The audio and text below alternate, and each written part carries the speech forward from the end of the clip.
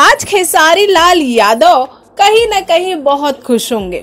वो खुश इसलिए होंगे कि कभी पवन सिंह जिस अक्षरा के लिए उनसे लड़े, झगड़े और उन्हें न जाने क्या क्या सुनाया, उनके खिलाफ न जाने क्या क्या किया और उनके खिलाफ न जाने क्या क्या बोल गए।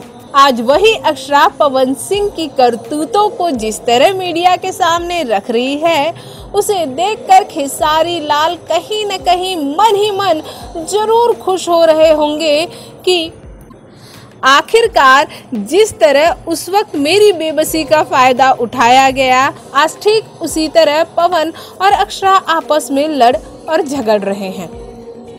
वैसे एक बात कहनी ज़रूर पड़ेगी। अक्षरा सिंह से जो भी पंगा लेता है, वो शांत रहता है, बोलती, अक्षरा सिंह ही है।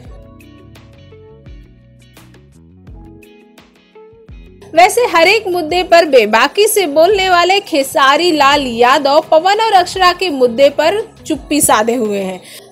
कहीं न कहीं खेसारी लाल यादव ये ज़रूर सोच रहे होंगे, कभी उनकी फजीती करने वाले पवन, अक्षरा आज अपने ही प्यार की फजीती सभी के सामने कर रहे हैं। वैसे देखा जाए तो पवन और खेसारी के रिश्ते काफ़ी हद तक सुधर भी चुके हैं। और पवन और अक्षरा के भी रिश्ते कहीं न कहीं अब ठीक ठाक ही नज़र आ रहे हैं। क्योंकि आजकल मीडिया में या यूँ कह लें सोशल मीडिया में एक वीडियो खूब तेज़ी से वायरल हो रहा है, जहाँ खेसारी लाल यादव अक्षरा सिंह को अपना गुरु बता रहे हैं। वो ये कहते नहीं थक रहे हैं उस स्टेज शो में कि अक्षरा सिंह ने उन्हें डांस सिखाया है। भले ही अक्षरा सिंह उनसे जूनियर हैं तो क्या, लेकिन वो उन्हें बहुत कुछ सिखाती हैं। और ये वीडियो जिस तरह फैलाया जा रहा है, उसे देखकर यही लग रहा है कि खेसारी लाल यादव अक्षरा सिंह के सपोर्ट में है। बट ऐसा कुछ नहीं है, क्योंकि अक्षरा सिंह के खिलाफ या अक्षरा सिंह के सपोर्ट में, पवन सिंह के खिलाफ या पवन सिंह के सपोर्ट में खेसारी लाल यादव का कोई बयान आया नहीं है और शायद आएगा भी नहीं। क्योंकि ऐसे मैटर में खेसारी लाल यादव अपने आप को दूर ही रखना चाहेंगे। वैसे आप इस बारे में क्या सोचते हैं?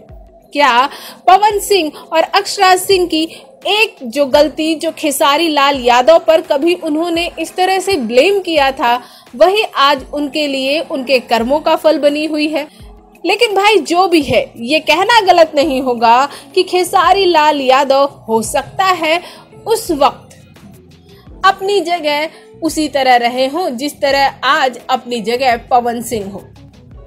भोजपुरी जगत की हॉट और मसालेदार गॉसिप के लिए हमें सब्सक्राइब करना बिल्कुल न भूलिए।